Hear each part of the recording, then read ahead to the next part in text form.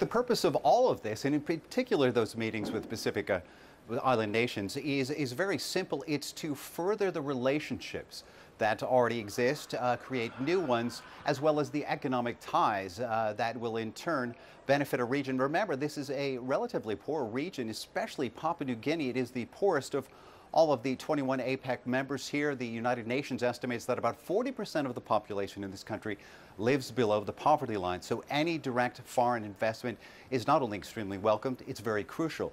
What those countries get in return for uh, for investing in the infrastructure here is that money and opportunities go to those companies, foreign companies, which in turn stimulates trade, a good thing for everyone.